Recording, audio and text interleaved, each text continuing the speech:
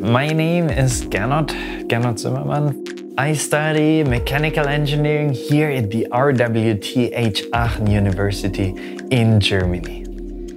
My company is RefresherBoxx. A washing machine uses tons of water and detergent. The RefresherBoxx doesn't need any washing powder and no water. We are just based on physical methods. It's a combination of different physical methods like light of different wavelengths, temperature modes, air pressure, and active oxygen in order to remove the germs, the bacteria, the fungi, the viruses in the textile.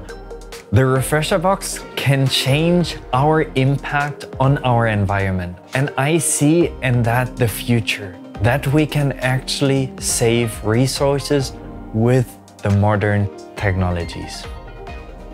GSEA is a true opportunity to actually show the world that we can change and use technology to actually make a better living, to reduce our impact on the environment, to make use of modern technologies to change the world.